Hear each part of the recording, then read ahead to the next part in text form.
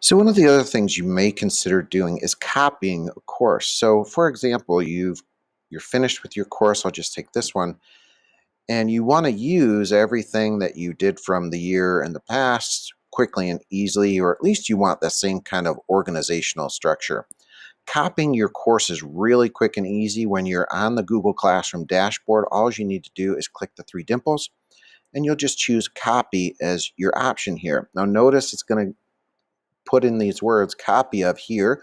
So you'll probably want to change that and you may want to even include your section information for uh, the next school year. So you may even want to do, uh, I'll get rid of copy here and I'm just going to type in 2021 22 just to make sure I don't uh, kind of confuse that with the course that I just created. Now, why would you want to do that? Now, notice it's just going to create, uh, you know, the, it'll clear out your rosters and all the announcements that you made, but it will keep the topics that you use from throughout the year. So if you used topics that were date related, that may be a little problematic. You may need to just go back and edit those as you go. But if you use topics uh, that were based around your unit planning, uh, that should kind of just carry through and be a great organizer for your students and you as you go throughout the year. So copying your course can be um, very practical when it comes to that.